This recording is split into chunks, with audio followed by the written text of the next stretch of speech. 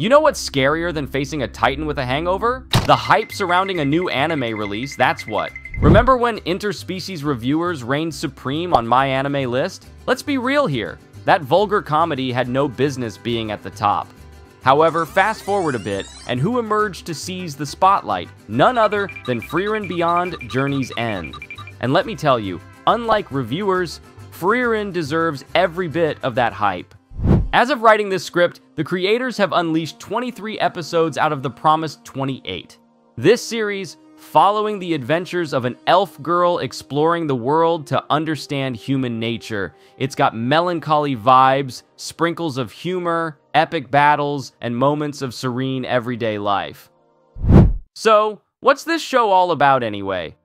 Picture this the typical run of the mill storyline where a brave group led by the hero sets out to vanquish some big evil. Your standard fantasy fare, right? Well, hold on to your waifu, because Frieren flips the script right from the get go. The story kicks off after that infamous Demon King has already bitten the dust, courtesy of our hero and his gang. The epic showdown with evil in far flung lands is now a distant memory as the heroes return home after a quest. Everyone's got their own goals and aspirations because, let's face it, you can't turn back the clock on lost time. Well, everyone except our protagonist, Frieren. To her, whether it's been 10 years or 50, it's all a piece of cake. So, when she suggests meeting up half a century later to catch another glimpse of a shooting star, she can't fathom why her comrades react so strangely. And by the time the realization hits her, it's too late. From that moment on, she embarks on a journey not just to uncover arcane spells, but to get a better grip on human nature. But fear not, she's not alone on this journey. One of her old partners, the priest Heiter, introduces her to a young girl named Fern. Much like Frieren, Fern's got a knack for magic, and thanks to Heiter's crafty scheme, our elf becomes Fern's mentor. And let me tell you, this ain't your run of the mill mentorship journey. There's no cramming spells or exams here.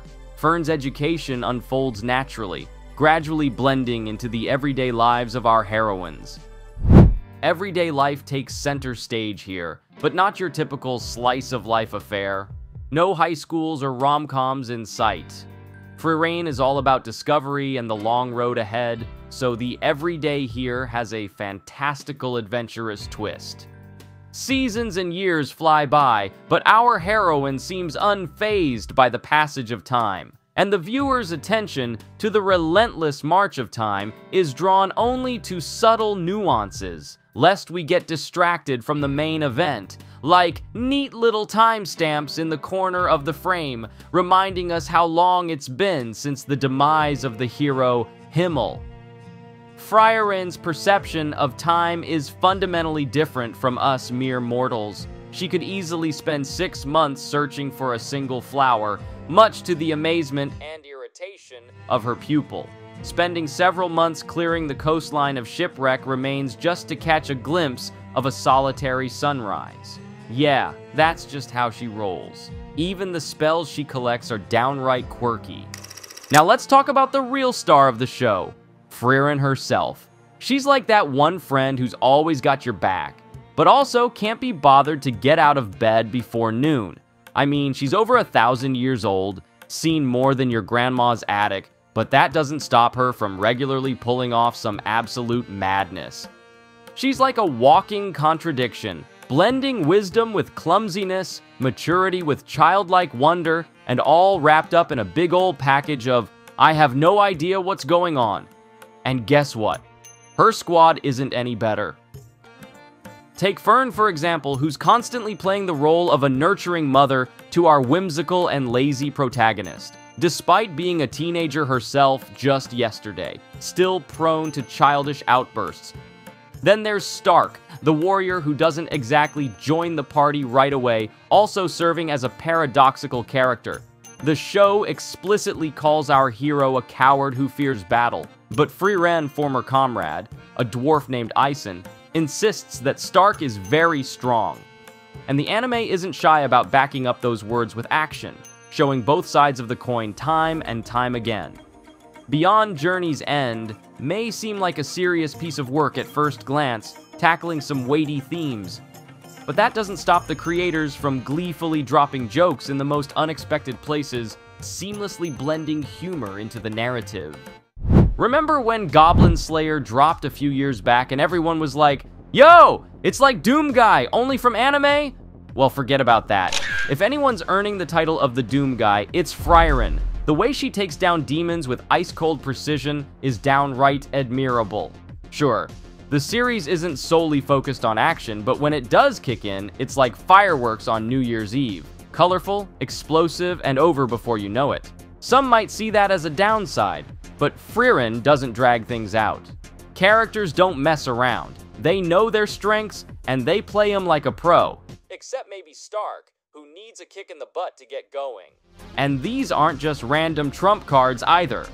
The series thoroughly explains what, how, and why things happen.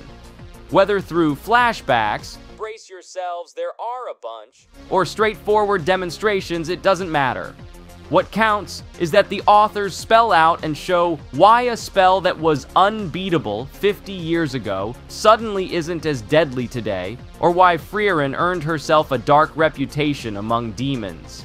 Now, who's behind this brilliance? Is it the original manga creators or the screenwriters at Madhouse Studio responsible for the adaptation?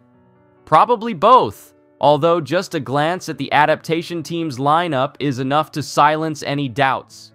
For instance, the show's director is Saito Keiichiro, his previous gig in the same role was with Bocchi the Rock, handling the story is Suzuki Tomohiro who's got One Punch Man under his belt, among others.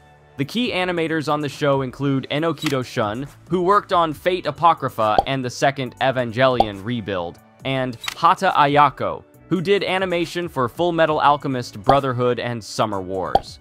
And let's not forget animation director Hamada Kunihiko, who, aside from Summer Wars, also lent his talents to projects like Texhnolyze and No Game No Life.